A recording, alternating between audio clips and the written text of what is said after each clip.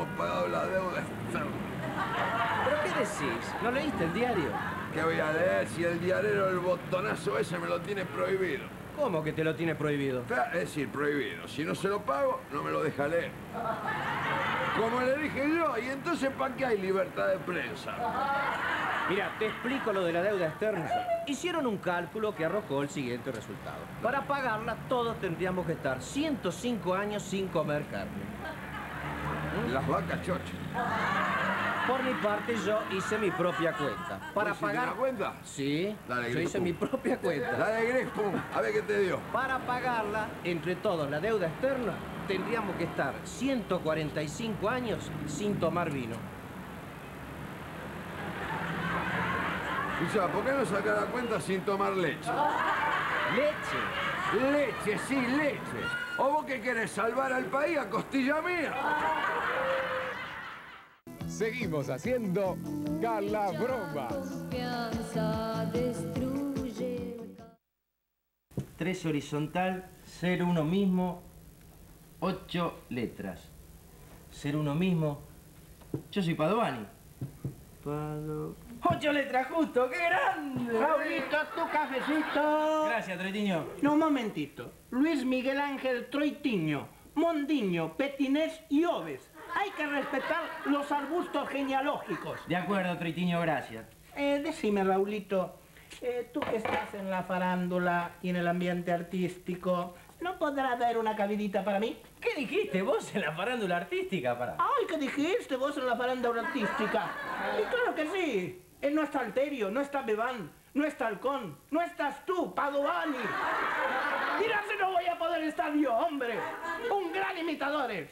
¿Así? Sí, Eso- imito lo que tú quieras. ¿Eso es lo que vos sabés Vamos, hacer? vamos, vamos. A ver, a ver, Empújame, invítame, vamos, invítame a vamos. alguien. ¿A quién puedes invitar? A ver. Sí, mira, yo te puedo imitar a Mario Sánchez, ahí está. ¿Viste cuando él está en el campo, en la cantina, él cómo dice? Dice así. Bueno, sabés la gana que tenía de darte un abrazo. No es muy triste andar en soledad. Pará, Tenés que pará. te voy a mostrar el pichón de peludo que tengo en cautiverio. Pará, Troitiño, pará, que eso lo hacen No, todos ya los estoy embalado, ya me embalé ya. A Mario Sánchez lo imitan todos los imitadores. Algo más difícil quiero, a ver. Y puede ser a Julio Iglesias y las trillizas de oro. Esa es buena, a ver, hacela. Ahí está. A ver. Pará, pará, coro de las. ¿Ese es Julio Iglesias? Ahora te lo hago. Abrázame como si fuera esta la primera vez. El micrófono. Yo quiero acariciarte hoy igual que ayer. Ay, abrázame. Eh, pero escuchame, pará. No, esa te sale fácil porque vos sos gallego Ah, también. sí, ya está. Ya, ya vienen los, pretextos. Vamos, hombre, no. que yo ¿Qué soy un? Hola, Rómulo, ¿Qué ¿qué tal? Salud la barra. Anda. Grande. ¿Qué? Perdón. ¿Me equivoqué o en la vitrola había un disco de Julio Iglesias? Se escuchó Julio Iglesias por acá, sí, señor. Eh, ¿Vas a tomar algo, Rómulo? Sí, ¿tenés leche fría? Sí. Bueno, calentame un vaso. ¡Marchi la leche caliente! La leche fría, el vaso, calentame. Ah, a mí me gusta tibia, ¿viste? Leche fría, vaso caliente, se entibia. ¿Qué andas haciendo por acá? Tengo una cosa para mostrarte que te vas a caer de cuerpo entero. A ver, dale. ¿Qué? ¿Te animás? ¿Cómo no me voy a animar? ¿Qué es lo que es esto? ¡Qué barbaridad! ¿Dónde la conseguiste? Es una revista española. Me la trajo un amigo de Estados Unidos que la consiguió en Suecia. No se puede creer. Pero guardala, ¿eh? Hacen cualquier cosa, ¿eh? Es una cosa de Pero vos te das cuenta lo que es esto. ¿Qué tal, muchacho? ¿Qué haces. Jaime? Ah, ¿Cómo ¿qué haces? Sentate, sentate. Ah, ¿qué digo? Si me siento de espalda, ¿quién me va a ver? Jaime, ¿querés ver algo que no se puede creer que rompe todo? Mostrale, Rómulo. Dale, mostrale. Dejá que es chiquito esto. Pero es amigo, eh. Dale. Bueno, yo te la muestro, pero ojo, no levanté la perdí, ¿eh? Mira lo que es esto. Uy, pero qué barbaridad, me vuelvo loco. No hagas bandera, pero ya tenés que... ¿Por qué no lo publicás en los diarios también? ¿Dónde la conseguiste, che? Me la consiguió un amigo en Estados Unidos. Es una revista española que se la consiguieron en Suecia. ¿Viste lo que hace? Bueno, acá está su lechita que Ah, pidió. gracias. Ahí está. Los estuve Salud. observando muy detenidamente. ¿Puedo ver esa revista? No, gallego vos no, porque te podés Vamos, infartar. vamos, la revistita quiero ver. Vamos. Está bien, yo te la muestro, pero no nos responsabilizamos. Mira lo que es esta revista. solo porque hay una mujer en la tapa. No se avivó este. Pero no ven que es una tapa única. La mujer está vestida. Ah,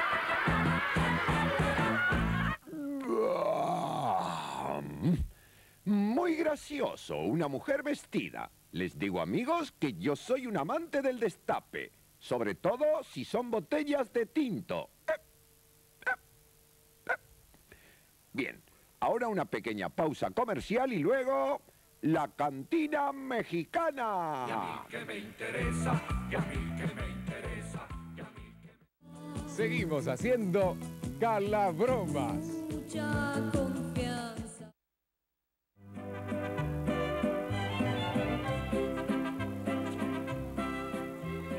¿De manera que abandonaste a tu marido?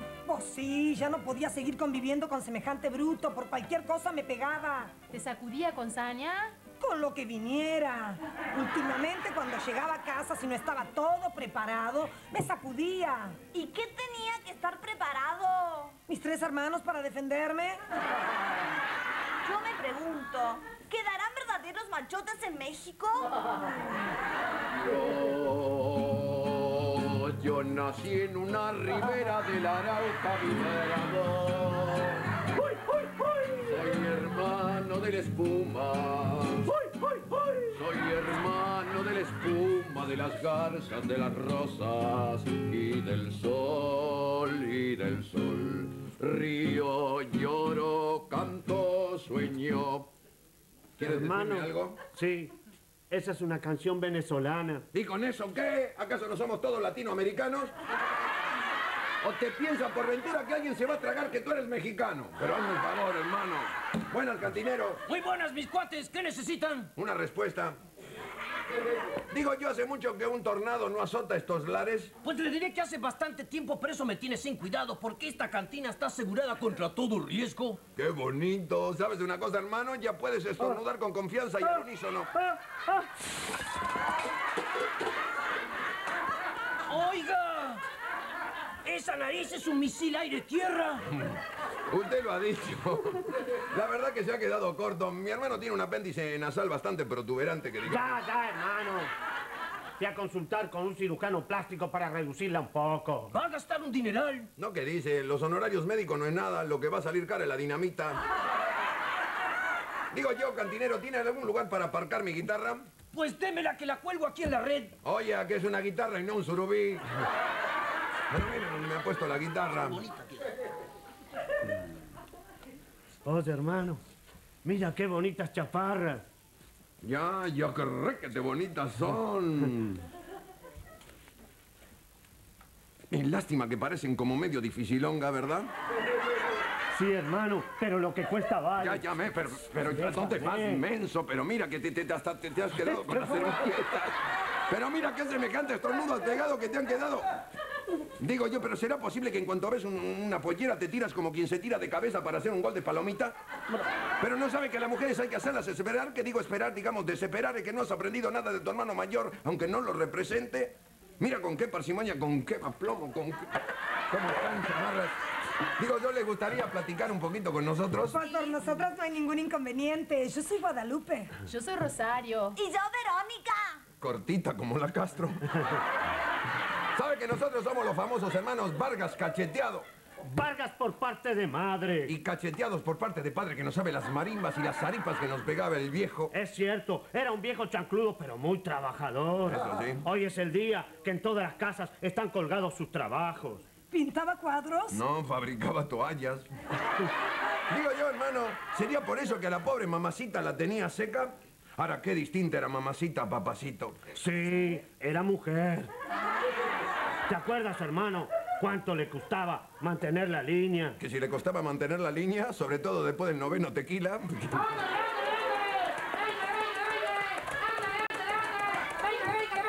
¡Se pulió todo! ¡Llegó el sonoro chipachingo! A ver los extras saliendo por el fondo y sin hacer comentarios porque nos van a cobrar el polo, ¿eh? Ya, ya, ya, ya. ¿Y tú dónde vas, menso? Pero no oíste, hermano. Llegó el sonoro chipachingo. Ese cuate es terrible. Pero será posible que sea tan cobardón, pero, pero- pero- pero será posible que, que- que no te has dado cuenta que no te puede atacar mientras esté con tu hermano mayor, aunque no lo represente. Pero ¿qué van a pensar acá las chamarras? ¡Que son un par de cobardones! Pues que esas piensen lo que quieran. Pero cuate que huya tiempo sirve para otro sketch. Que tú te quedas acá y piensa una cosa que mientras estés al lado de tu hermano mayor, el sonoro no te atacará. De eso estoy seguro. ¿Y por qué le llaman sonoro? Porque tiene la maldita costumbre de comer frijoles calientes. Luego se tira sobre la mesa, se quema y pega unos alaridos que ni Celeste Carballo cuando canta. Cuidado que ahí llega. Oye,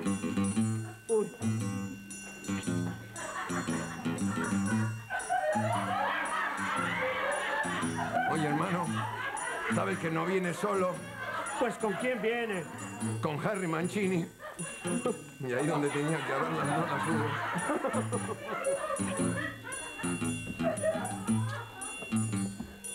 He decidido abandonar el trago y como no quiero tentarme...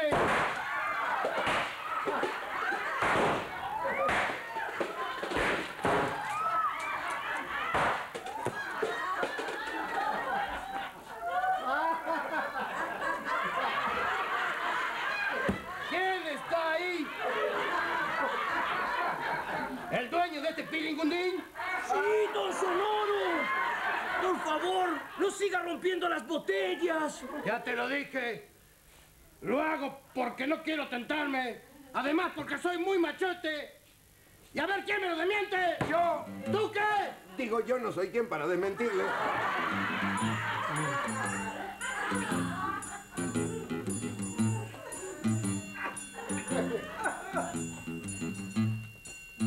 Lindo pelo para rellenar colchones. Si usted me permite, don Sonoro, y ya que lo veo tan caballeresco, digamos, y como quien no quiere la cosa... ¡Silencio, menso! Pero es que mi hermano le quiere ¡Tú explicar. también te callas! Es que yo le quisiera ¡Que decir... te calles, dijo el Sonoro! Y debes respetarlo igual que a mí, que soy tu hermano mayor, aunque no lo represente. ¿Tú naciste primero? Sí, pero no tuve nada que ver, le aseguro, don Sonoro. O sea que tus padres no dejaron de estar vencidos ni aún vencidos. Sí, digamos, la frase es, no se dieron por vencidos ni aún vencidos. Que esa sería, digamos, la manera correcta y no por aporteñada, digamos, de decir las cosas. mismo. Eso, eso es. Y mira lo que salió. Ya, ya, ya, ya, hermano. Pero deja ya de llorar, ya, hermano. ¿Por qué lloras? Me acuerdo de mi infancia. Fue muy triste. Eso es cierto. Mire cómo sería de triste la infancia de mi hermano, que pobrecito tuvo que aprender a caminar a los tres meses porque nadie lo quería levantar. Digo yo, don Sonoro, si usted me permite y es tan amable, digamos, ¿por qué no se sienta usted en otra mesa y nos deja aquí platicar un poco con las chaparras, no? Digo, Claro que sí, claro que sí. yo sabía que usted iba a entender porque... Me voy a ubicar en otra mesa. En la mesa de mi casa. Y las muchachas se vienen conmigo. Bueno, pero yo diría que tenemos que hacer las cosas un poco más democráticamente, digamos, hacer una especie de debate, o si usted lo prefiere, una especie de interpelación. ¿Por qué no? Nada de interpelación ni de nada. Nos vamos con el sonoro, Venga. ¿verdad, chicas? Pues claro que sí, a mí me encanta la aventura. Hay que vivir nuevas emociones. Oye, si te gusta vivir nuevas emociones, ¿por qué no tomas el sute a las 7 de la tarde y haces la combinación Lacrosse, Constitución, Carlos Pellegrini? Tú, ven conmigo. Yo... ¿Viste que no tenías que llorar? ¿Viste que tú también tienes tu sex appeal que lleva el sonoro? Ven conmigo. Sí. ¿O te crees que soy un pulpo? Solamente tengo dos brazos. Y alguien tiene que manejar las riendas del carro. Perdón, hermano, yo pensé que venía a caballo solamente. ¡Andando, chicolete! ¡Vamos, vamos, chicolete! Hermano, no claudiques, hermano. Es que tengo miedo. No claudiques. Y si claudicas, hazlo con toda dignidad. Maneja ese carro como se debe. ¿Se ha quedado solo, mi cuate? Le digo una cosa, mejor solo que con el sonoro chipachingo. ¿No vio cómo roba cámara? No entra en un televisor de 14 pulgadas, te lo digo yo. Para colmo se llevó a las muchachas. Eso es lo peor, pero le digo una cosa, ya estoy un poco como quien dice resignado. Últimamente estoy teniendo mala suerte con las mujeres. Justamente ayer discutí con mi novia. ¿Usted puede creer que a cada rato me decía que le, molestaba, que, que- que le molestaba el bigote, que le pinchaba el bigote, que le molestaba el bigote? ¿Y por eso usted se enojó? No, ella se enojó conmigo. Le dije que si tanto le pinchaba el bigote, ¿por qué no se lo afeitaba? Bien, muchachos, eh, ¿qué les pareció esta secuencia? Mm, bien, estamos en democracia y cada uno puede pensar lo que quiera. Bien, ahora unos comerciales y luego el teleteatro demasiado breve. ¿Y a mí qué me interesa? El teleteatro demasiado breve.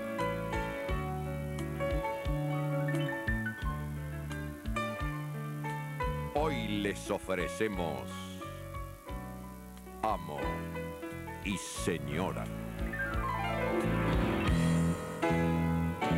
Sobre un libro original de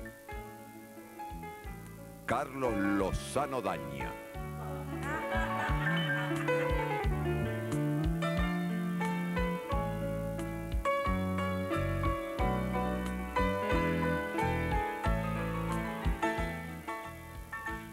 Allí están frente a frente Bettina Guillermina Jorgelina y Hernán Damián Román y viceversa.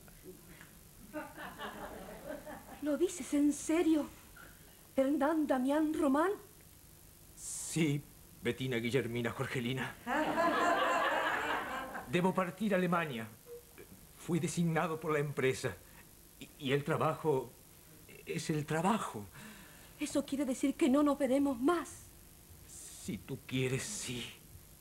Casémonos, mi vida, y vayámonos juntos.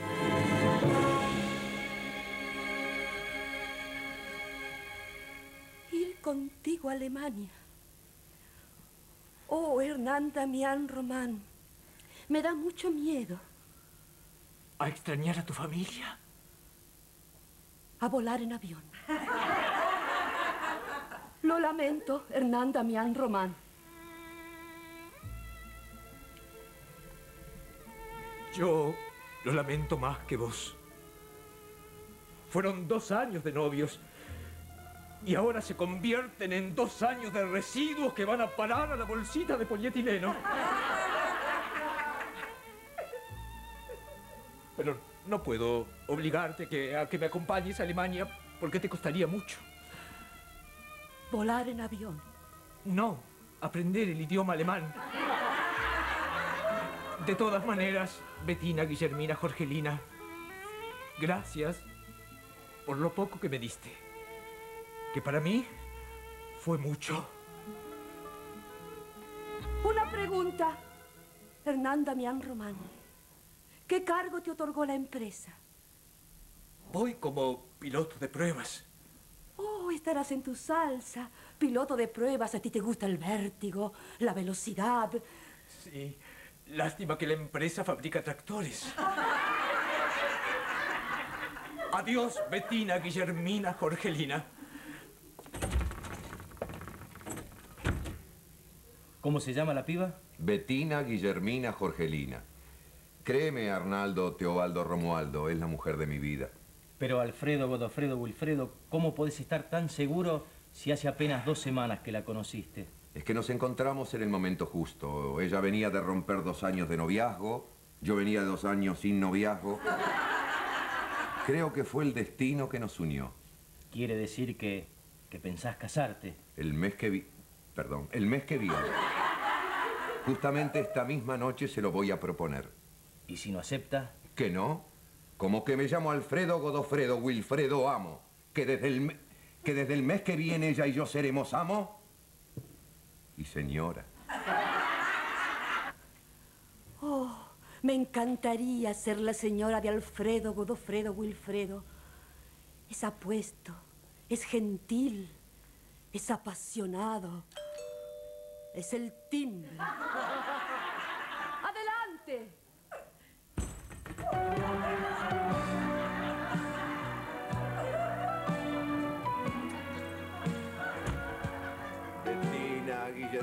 Jorgelina.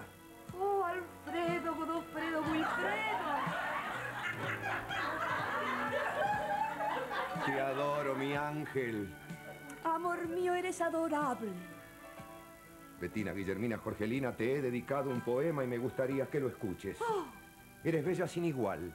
Y tu hermosura es tan propia, eres tan original, que jamás serías copia. Godofredo, Wilfredo, es maravilloso. ¿Cuándo empezaste a escribir poemas? El día que me regalaron un pequeño cuadernillo angosto. Bettina, Guillermina, Jorgelina, debo decirte algo que quizá te tome de sorpresa. Perdiste el cuaderno angosto. Nada de eso, mi vida. El mes que viene nos casaremos. mes que viene. Oh, Alfredo, Godofredo, Wilfredo, ¿no es prematuro? No, es junio. ¿Qué me contestas? No sé. ¿Dónde iríamos a vivir? Bueno, iríamos eh, aquí, a tu departamento. Aquí, pero es pequeño. ¿Pero qué dices, mi vida? Betina, Guillermina, Jorgelina, el departamento es chico, pero el amor es grande. Nos casaremos, seremos felices y comeremos... A veces. Eso no importa. Contigo, pan y cebolla. Y dentrífico con clorofila.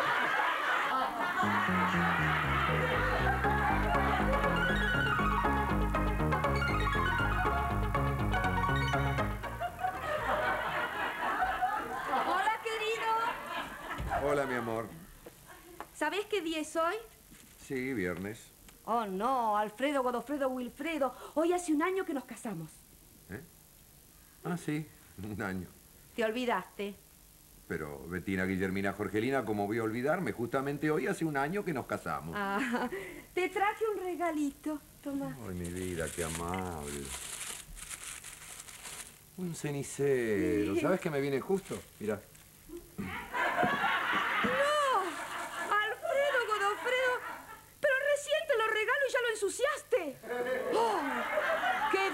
distinto, Hernán Damián Román! Otra vez con el tema de tu exnovio. Él no haría eso. Claro, porque seguramente él no fumaba. Haceme el favor, déjame en paz.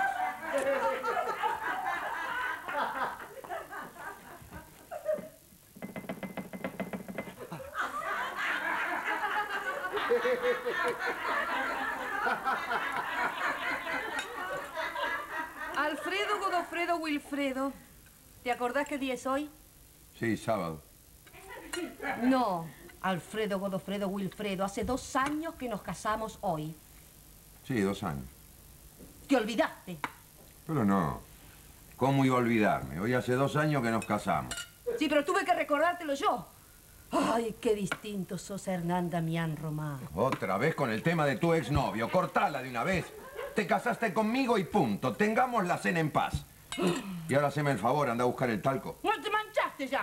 No que me voy a manchar. Ya no sé qué ponerle a este pollo para que tenga gusto a algo.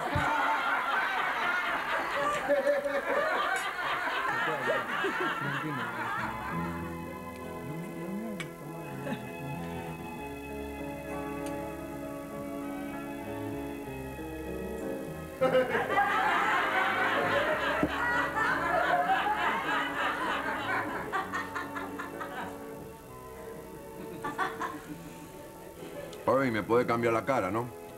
Y vos podrías no hacer papelones, ¿no?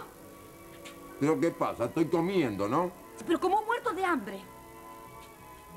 Afloja, Betina, Guillermina, Jorgelina, no estamos en casa. Por eso mismo, moderate un poco. ¿Qué tal? ¿Qué tal? ¿Se divierten? Ah, sí, muchísimo. Elena Magdalena Azucena, realmente tu fiesta es, es estupenda. Eh, perdón, Irina Magdalena Azucena, ¿hay algún motivo especial para este ágape? Bueno, simplemente para compartir un momento agradable con buenos amigos como ustedes, Alfredo, Godofredo, Wilfredo. Justamente yo siempre le digo a Betina, Guillermina, Jorgelina, debíamos organizar este tipo de reuniones en casa, juntar amigos, ¿verdad? Sí, claro, en casa, con un departamento de dos ambientes. Bueno, eso que tiene, se invita a menos gente y listo, ¿verdad? ¡Qué ocurrente! Sí, sí, muy ocurrente. Betina Guillermina Jorgelina, hay una sorpresa para vos. ¡Qué sorpresa, Mario Hilario Apolinario! Mira quién llegó. Hola, Betina, Guillermina, Jorgelina.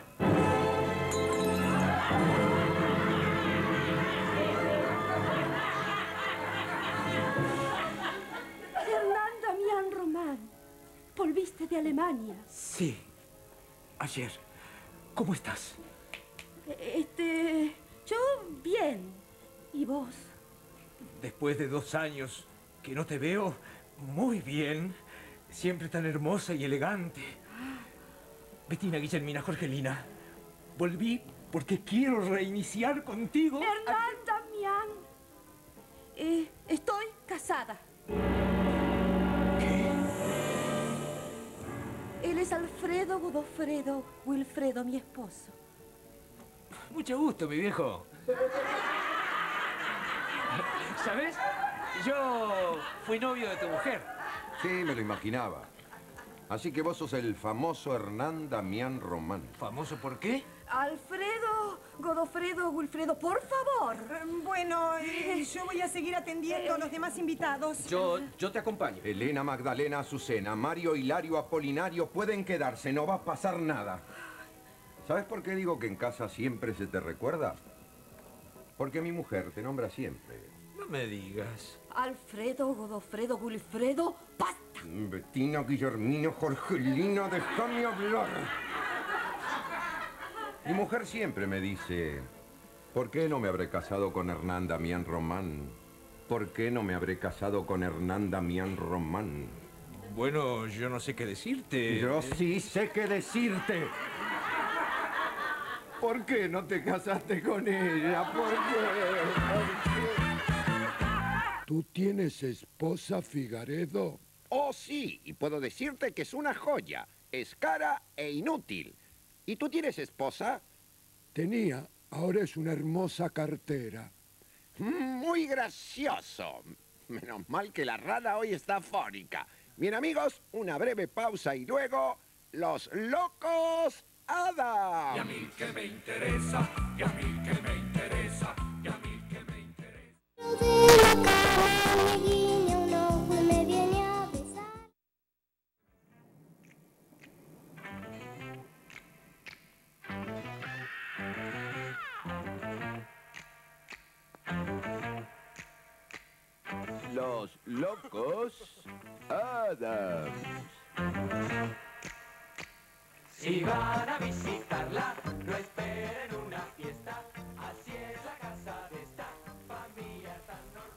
querido, ¿qué ocurre? Te noto nervioso. No es para menos, Ticia querida. Estoy preocupado por la marcha de mis negocios. Dedos. Prepárame un informe completo sobre la marcha de mis empresas.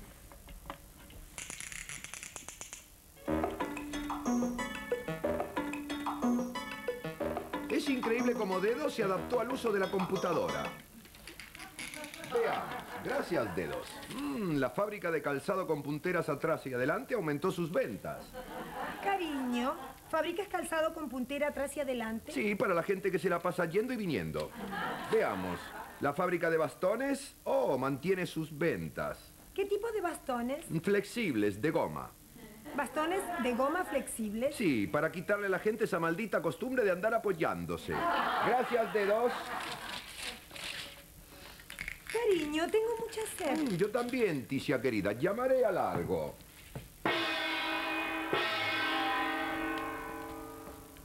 ¿Llamó usted? Sí, largo. Acá con Ticia tenemos mucha sed. ¿Qué cóctel nos sugieres? Podría ser un batido de alas de murciélago con media medida de ácido sulfúrico. Excelente idea, Largo. Prepáralo ya mismo. Ah. Ticia querida, es increíble. Cada día el Largo nos apabulla más y más con su verborragia.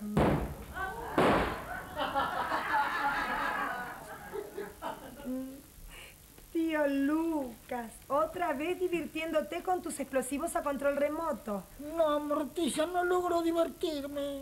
Tío Lucas, ¿qué pasa contigo? No sé, Homero. Me siento muy bien. Mm, seguramente algo que has comido y te ha caído bien. ¿Qué has almorzado?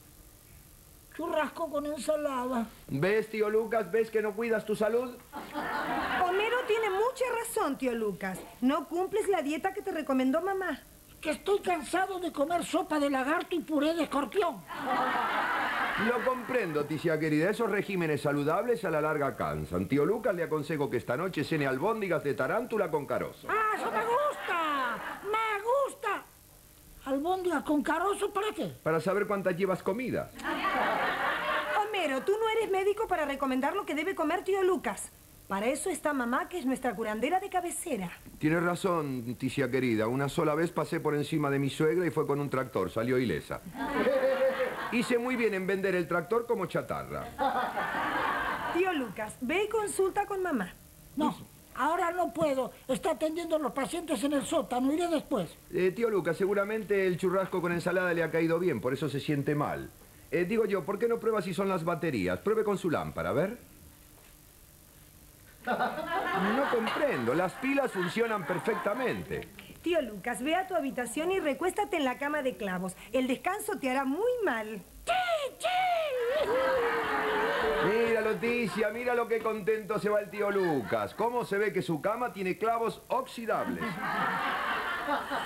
Ah, Aquí están vuestros batidos. Gracias, Largo. Ticia, te propongo un brindis. ¿Cuál es tu deseo para el brindis? Bueno, para que tu madre ponga nuevamente mal al tío Lucas. Chin, chin. Provecho. Cariño, llaman a la puerta. Te deja, yo mismo iré a atender.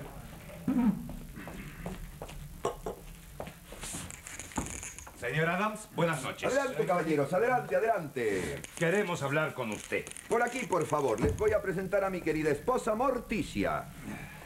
Eh, perdón, ¿los señores son? Sí, una comisión médica que representa al centro asistencial de la zona. Doctor, ¿me permite su sombrero? Gracias. Dedos. El sombrero del doctor. Bien, ustedes dirán. Bien, estamos aquí por su suegra.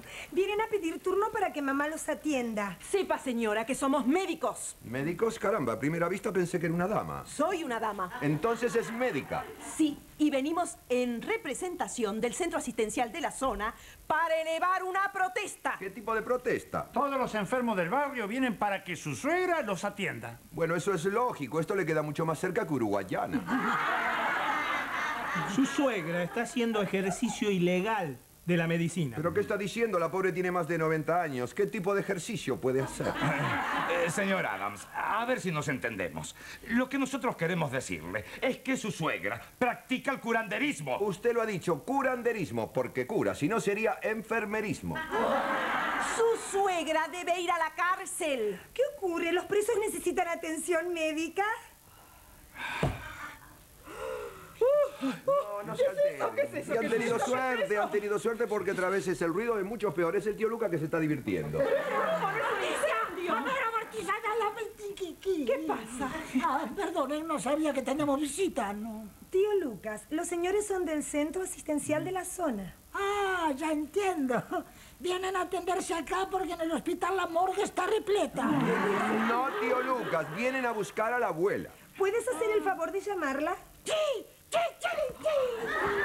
Eh, doctores, en breves instantes estará acá mi suegra, podrán interrogarla y verán cuánto sabe de medicina. Querido, ¿tú crees que mamá soportará una interpelación? ¿Por qué no? Si se la bancó Grispun, cuanto más ella.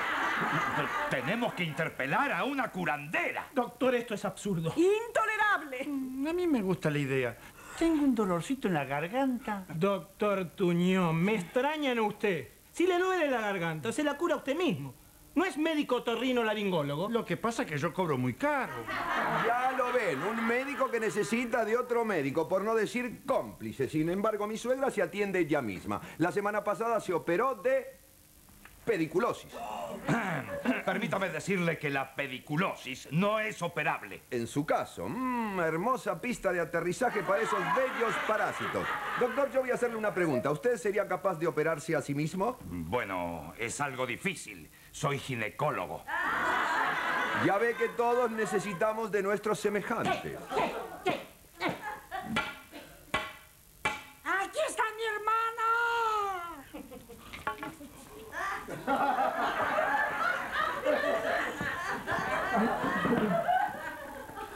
Mamita, los señores son médicos. Lo lamento, en los males incurables yo no me meto. No, no, querida suegra, solo vienen a interpelarla. Ni se atrevan. En mi pelo solo mete la mano Roberto Giordano. Mamá, simplemente quieren saber tus conocimientos sobre medicina. Eh, señora, ¿usted sabe qué es un apéndice? Por supuesto, es una tripita que solo sirve para que la gente cuente con lujo de detalles cómo se la estirparon. Señora, ¿usted sabe lo que es una autopsia? Digamos que es un diagnóstico post-mortem. Señora, ¿qué es una receta? Es un jeroglífico que los farmacéuticos se ocupan de traducir a pesos. Es increíble. Se la sabe toda la vieja. No creo que sepa lo mío. A ver. Señora, me duele un poquito la garganta. Tendría que revisarlo. Lucas, prepáralo. ¡Abra la boca! ¡Abra la boca! No, usted está mejor que yo. Entonces me voy tranquilo. Tranquilo. Le diré que mi suegra padece de úlcera gástrica, hipertensión arterial, bronquitis crónica y principio de aterosclerosis. En otras palabras, mamita regala enfermedad. ¡Locos! ¡Están todos locos! ¡Vámonos de aquí, por favor, que no soporto un minuto más! ¡Vámonos! ¡Rápido, rápido!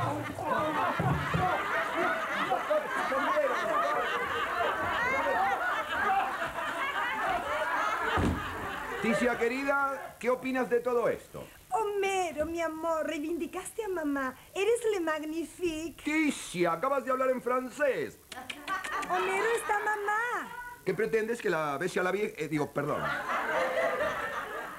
No te preocupes por mí, Homero, puedes continuar. Yo voy a darle de comer a mis plantas carnívoras. La reflexión de tu madre me ha sugerido una hermosa frase. ¿Qué frase, Homero? ¡Qué vieja piola! ¿Te das cuenta, Ticia querida? Hasta el teléfono se ha puesto de acuerdo con el horario de protección al menor. Aquí, casa de la familia Adams. Ah, ¿cómo está usted, tía Bóveda? Eh, si no para de llorar, no podrá explicarse. ¿Cómo dice? No diga, el tío Sepulcro. Se mudó al otro barrio. Comprendo, feneció. Ajá. Pero qué barbaridad. Bueno, no se preocupe, la llamaré mañana cuando esté de mejor humor. Hasta luego. Homero.